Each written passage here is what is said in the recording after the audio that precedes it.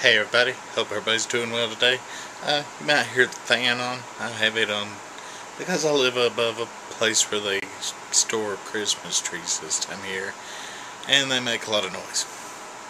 And that sort of kills out the noise. Um, so a lot of people doing Thanksgiving videos. And I'm not really big on Thanksgiving, not big on turkey.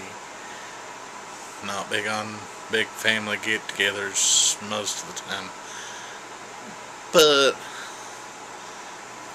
least part of the idea of it is alright. I mean, I, I do like giving thanks for what needs to be thanked. you know, realizing what matters, I guess, and realizing what you have, what you need and what you don't need. It's a good thing.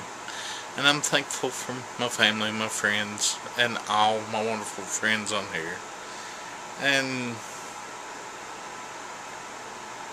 it also makes you think, you know, about people that, you know, are in need of things, are in need of uh, good thoughts. And that's what it makes me think. And as far as turkey, I'm not a turkey fan. I'm going to try to get some sushi tomorrow, because that's what I like on uh, Thanksgiving. Uh, to happy Thanksgiving to y'all. Um,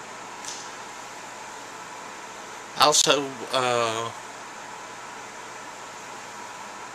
go over and uh, give John some good tidings.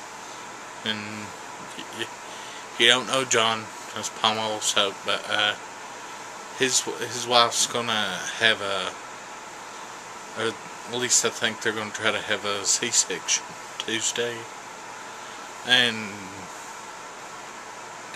just just go over and say howdy and give them words of encouragement and such. Uh, happy Thanksgiving.